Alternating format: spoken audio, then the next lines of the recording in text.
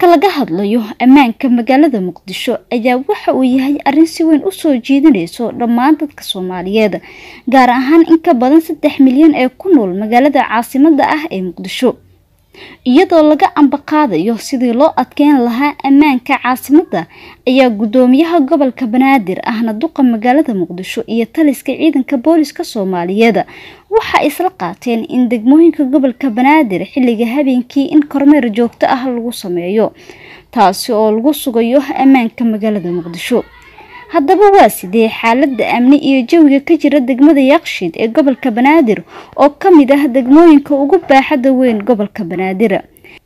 Ganacsiga isku socodka dadkiiya gaadiidka ee ka jira degmada yaaqshiid ayaa waxa uu yahay mid ka badan inta aad filaysay inaad ku aragto degmadaasi. Saacadda daawadayaal wakhtigan waxay abaaraysaa maalmo waxaad dareemi kartaan mashquulka iyo saxmadda wakhtigan ka jirto isgooska toofiiq ee magaalada muqdisho.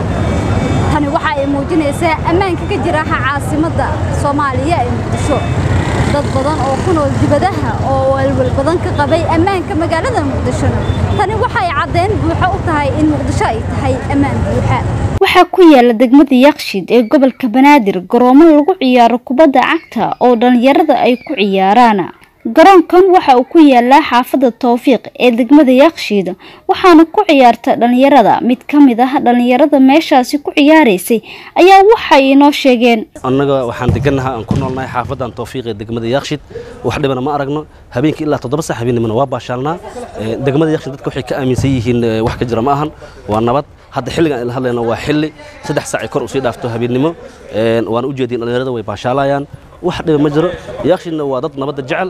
Isboortiskeeda hadday tahay iyo hadday dhallinyarada taabaan waa aan ku faraxsanahay inaan ku noolahay magaalada muqdisho gaar ahaan degmada yaaqshiid sidaasi waxaa tiri maamo farxiyo oo ka mid ah haweenka ku nool xaafadda towfiiqa ee degmada yaaqshiida waad dareemi kartaa amniga degmada yaaqshiid inuu seef yahay. Intaan oo bulsho ah ayaa ku nool.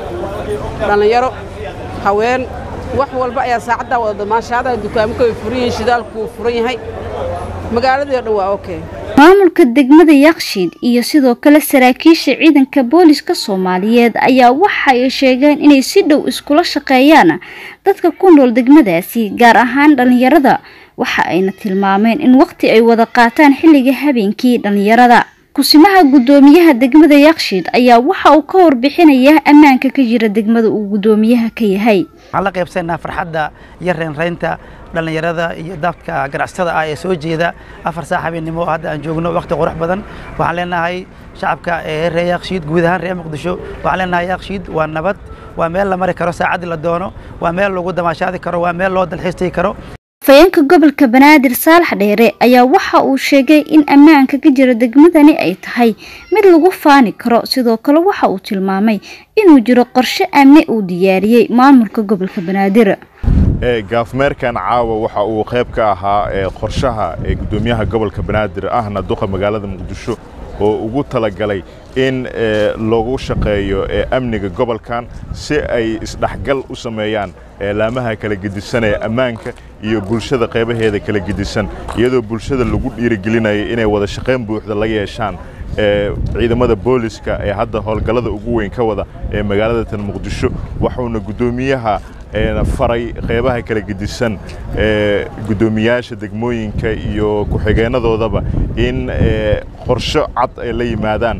Marka laga hadlayo ammaanka magaalada muqdisho gaar ahaan degmada yaaqshiid ee gobolka banaadir sida uu ammaankeedu u adag yahay waxaa tusaale kugu filan xilligan oo ah saqdhaxa ah. Waxaan ka soo hadlayaa degmada yaaqshiid gaar ahaan ifaafka hore ee hotel guuleeda ee magaalada muqdisho